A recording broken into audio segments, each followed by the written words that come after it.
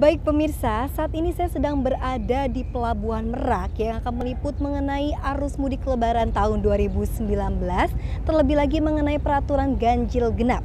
Berikut laporannya untuk Anda. Kepala Dinas Perhubungan Provinsi Banten menerima surat edaran yang dikeluarkan Direktorat Jenderal Perhubungan Darat Kementerian Perhubungan pada tanggal 29 Mei 2019 tentang pencabutan peraturan ganjil genap bagi kendaraan roda 4 di Pelabuhan Merak selama masa angkutan lebaran tahun 2019. Sebagai ganti dari dicabutnya peraturan ganjil genap, diberlakukan beberapa kebijakan lain untuk mengurangi kemacetan di Pelabuhan Merak. Salah satunya yaitu pemberian diskon 10% bagi para pemudik di siang hari dan kenaikan harga 10% bagi para pemudik di malam hari. Nah, kalau yang diskon 10% itu itu juga tujuannya untuk mengurangi kemacetan.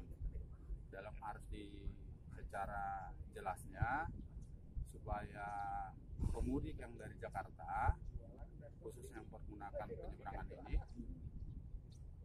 pada umumnya kan selama ini kan berangkat malam.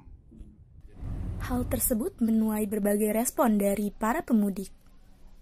Ya bagus sih bisa buat ngurangin sedikit, cuma nggak tahu sih belum di ini lagi belum dicek lagi Diferensiasi tarif yang diberikan kepada kendaraan golongan 4 di Pelabuhan Merak berlaku mulai tanggal 30 Mei 2019 hingga 3 Juni 2019.